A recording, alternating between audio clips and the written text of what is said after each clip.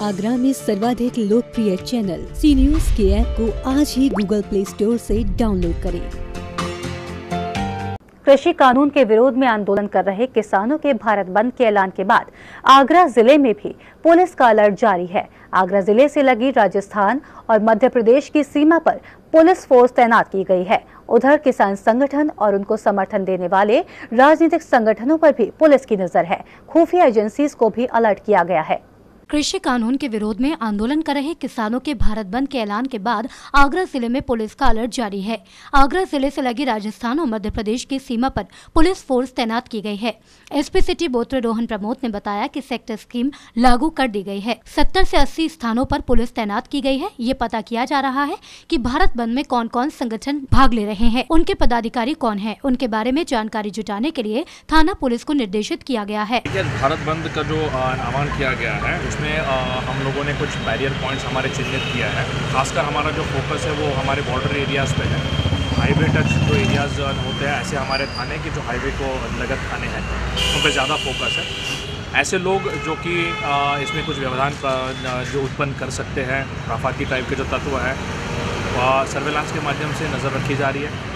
Cyber team भी हमारी लगी हुई है ताकि फेसबुक और अन्य जो सोशल मीडिया प्लेटफॉर्म्स है जहाँ से लोगों को उकसाने के कुछ मैसेजेज आदि कुछ अगर कोई सर्कुलेट करता है तो उसको भी उसके खिलाफ भी कानूनन कार्रवाई जो है वो की जाए। एसपी सिटी रोहन बोत्रे प्रमोद ने बताया कि ज़िले में प्रवेश के रास्तों पर पुलिस बल तैनात किया गया है। जबरन बाज़ार बंद कराने वालों पर कार्रवाई की जाएगी।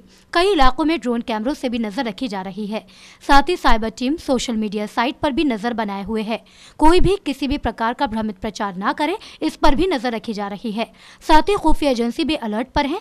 फ़िलहाल बाजारों को खोला गया है। साथ ही ट्रांसपोर्ट सेवा भी सुचारू रूप से चालू है। जनपद में सेक्टर स्कीम अप्लाइड है, सत्तर से सत्तर, पचहत्तर जो हमारे जो चलते आए हुए जो बैरियर पॉइंट्स है, उस पर हम लोगों ने डिप्लॉयमेंट हमारा किया है।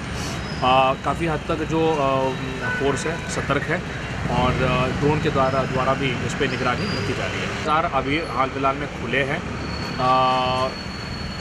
जो भी दुकानें हैं जो भी व्यापार मंडल के लोग हैं सभी उनसे वार्ता की गई है। मीटिंग्स लगातार की गई है मोहल्ला मीटिंग्स आदि मीटिंग्स की गई है। आ, किसी को अगर कोई दिक्कत हो तो वो पुलिस से संपर्क कर सकता है और पुलिस भी टोटली जो है सतर्कता मेंटेन रही है। देखिए जो फोर्स डिप्लॉयमेंट हम लोगों ने किया है हमारे बैरियर पॉइंट्स पे थाना और आदि का फोर्स जो है पुलिस लाइन आदि से हम लोगों ने फोर्स का डिप्लॉयमेंट किया है पी भी लगी हुई है। और सभी एंटी राइड इक्विपमेंट के साथ फोर्स हमारे तैनात थाना स्तर पर समस्त थाना प्रभारियों को क्षेत्र में गश्त के आदेश दिए गए हैं। बाजारों में भी पुलिस बल को तैनात किया गया है। सभी थाना प्रभारी अपने अपने थाना क्षेत्रों में फ्लैग मार्च कर रहे हैं। वरिष्ठ नागरिकों से थाना स्तर पर वार्तालाप पर शांति व्यवस्था बनाए रखने पर अपील की जा रही है। सी न्यूज़ के लिए संदीप शर्मा की रिपोर्ट।